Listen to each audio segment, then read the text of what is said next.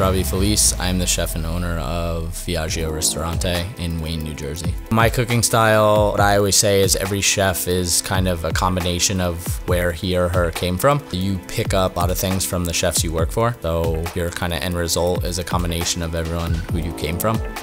I've worked in Italian restaurants my whole life, so my style is definitely, you know, has that rustic style, but a little touch of modern from all my time spent in Michelin star restaurants. For this tasting menu, I wanted to feature not only some of my favorite ingredients, but some of the best ingredients out there coming in from Italy.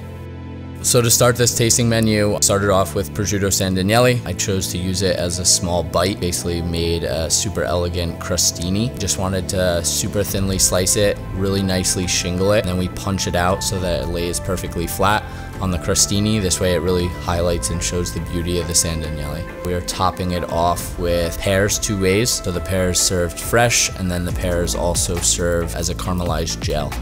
It's a great starting point for this tasting menu because it's super light and elegant.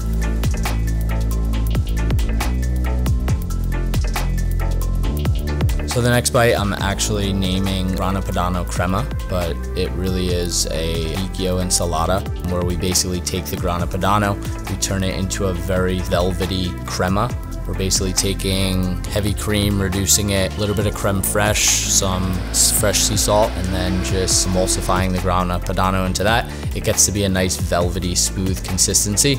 We're putting that down in the bottom of the bowl and then we're kind of building almost like a little jungle above that. We're using all radicchios coming in from Italy, Castelfranco, Tardivo, and Puntarelle. They're all being used fresh throughout the dish. They're getting dressed in a little uh, miso Calabrian crema. So it's basically a Japanese Italian vinaigrette. And then it's getting olive caramel. So I love the combination of the hearty radicchio and the grana padano because uh, the hearty, you know, super bitter radicchio is complemented by the thick, velvety, creamy grana padano.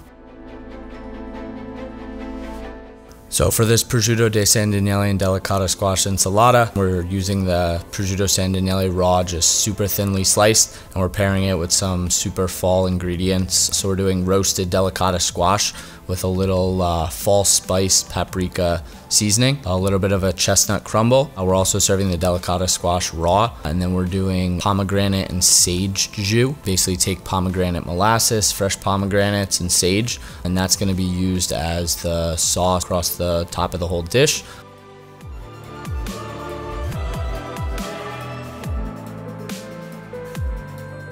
So the next bite is a sformato, basically like an Italian egg custard.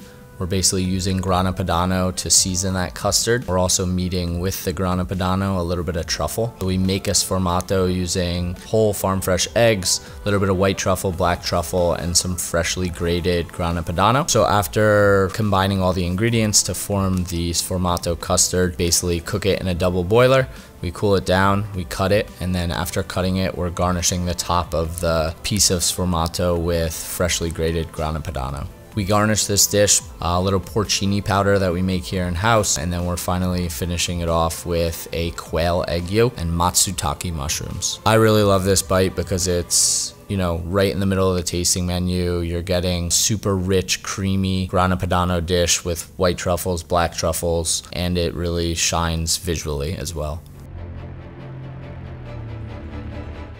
How I like to do my tasting menus is definitely progression with not only flavors but kind of richness in dishes. For this pasta course using prosciutto di Parma, we made some house-made spaghetti. We're making a ragu using literally just prosciutto di Parma and cipollini onions. We deglaze with a little bit of balsamic I really, really love this dish because I can vividly remember being in Italy and having a pasta that was literally just prosciutto and cipollinis. I think it really, really highlights the prosciutto di Parma. Uh, most people don't think of cooking with prosciutto, but I love flavors from the prosciutto di Parma when you're cooking it and the aroma from it are like absolutely delicious. We just did a nice twirl of the spaghetti and then we're finishing it off with a little bit of the ragu, some fresh pickled white pearl onions, and then some fresh prosciutto di Parma laid gently across the top.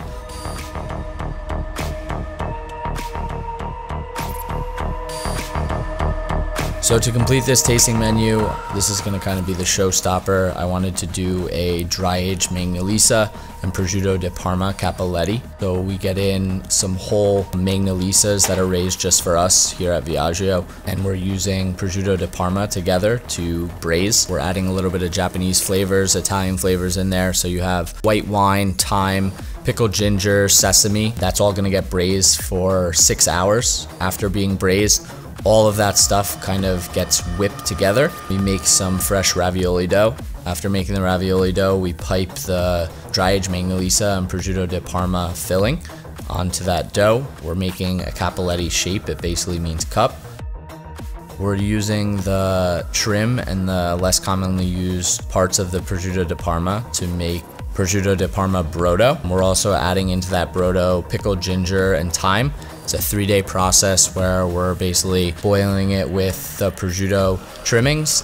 Then finally for plate up, par cook the cappelletti in water and then we actually finish cooking in the brodo itself so that it absorbs that flavor. We're topping it off with fresh scallions along with some fresh sliced pieces of prosciutto di Parma, cotica, which is basically chicharron in Italian, and some fresh pickled ginger. At Viaggio and all my other restaurants and projects, love using the best ingredient. So when I see this PDO stamp, I really know I'm using the best and I'm getting the best quality.